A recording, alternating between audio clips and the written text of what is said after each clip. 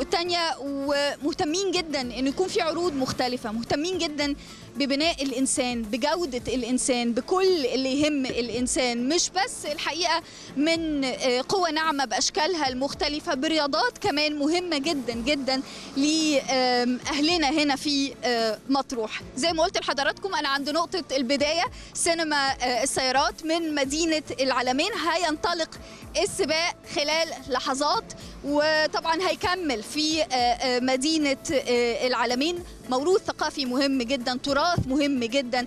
والحقيقة إنه دايما بيقولوا إنه آه، اللي بيحبوا الرياضة دي زي بالظبط اللي بيحبوا رياضة كرة القدم.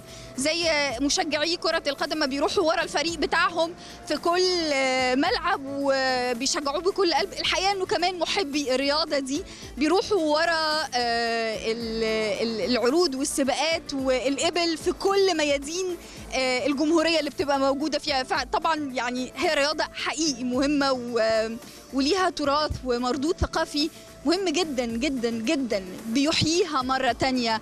والحقيقة لما بنقابل ناس من أهالينا من القبائل المختلفة بيقولوا إنه زي ما الجمال دي كانت عون لينا زمان آه، الحقيقة إن إحنا بنحيي وجودهم مرة تانية من خلال السباقات وال- والمعارض المختلفة للهجن والجمال وبيبقى منظر بديع. أنا هسيب حضراتكم معاه من مدينة العالمين في نسخة تانية من مهرجان العالمين وسباقات وعروض الهجن وهرجع لحضراتكم مرة تانية علشان نتابع اللي حصل في المسابقة مسابقة الهجن النهاردة.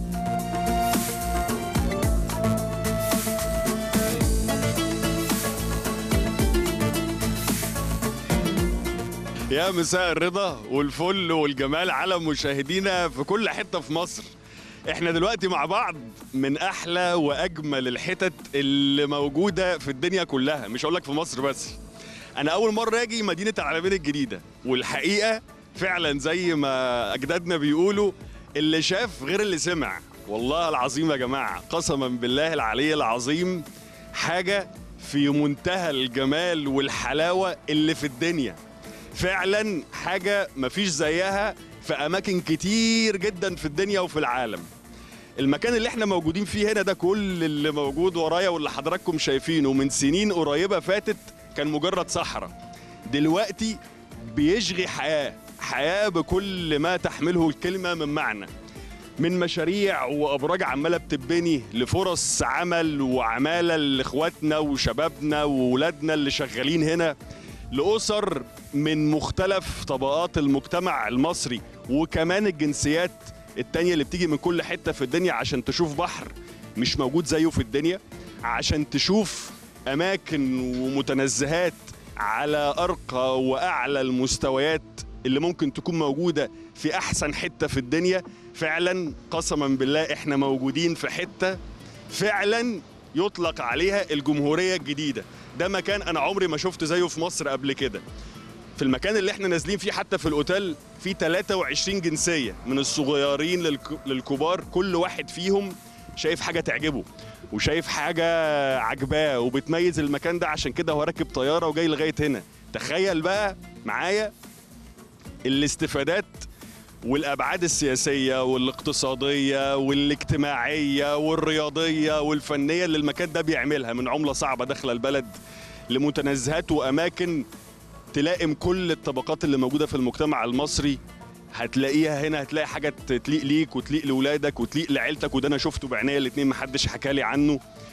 كل الفعاليات اللي إحنا موجودين عشانها مع حضراتكم سواء رياضية ولا فنية تخليك تيجي هنا تقعد أسبوع ولا 10 أيام ولا ايا كان عدد الأيام اللي انت هتقضي فيها أجازتك فعلا هترجع واخد أجازة فرحان وفخور إن انت قضيتها في بلدك مصر اللي فعلا شكلها بيتغير.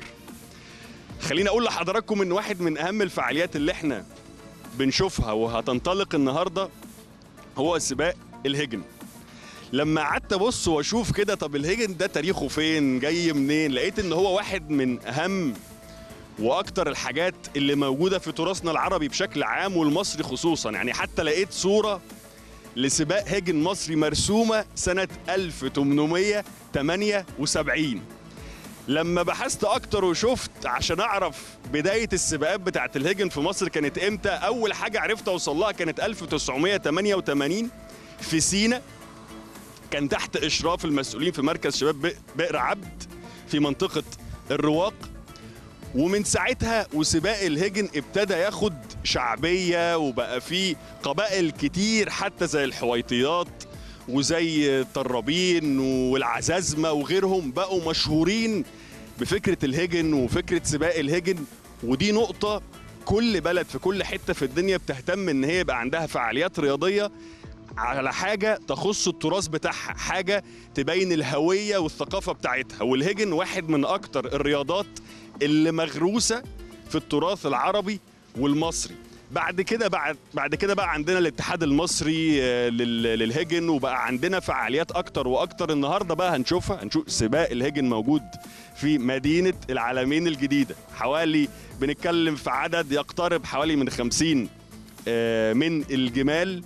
المخصوصة في سباق الهجن. وحتى لما قعدت أبص شوية وأشوف طب ده على فكرة في الهجن ده في السباق بتاعهم بيبقى الجمال بتجري وفي زي راكب آلي عليها غير الخيول. الخيول بيبقى فيه فارس في جوكي راكب الفارس وبيجري بيه الهجن بتبقى مختلفة شوية.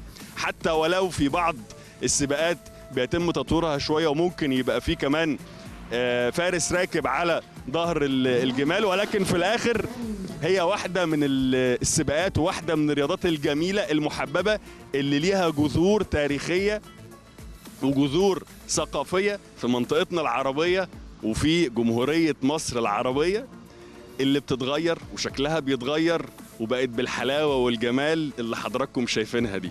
مكملين معاكم ومستمرين معاكم في مهرجان العالمين الجديدة. فعاليات رياضية وفنية وثقافية وترفيهية وكل حاجة تمت بصلة للأجازة والاستمتاع وللمنطقة الساحرة اللي إحنا بنشوفها مع حضراتكم دي.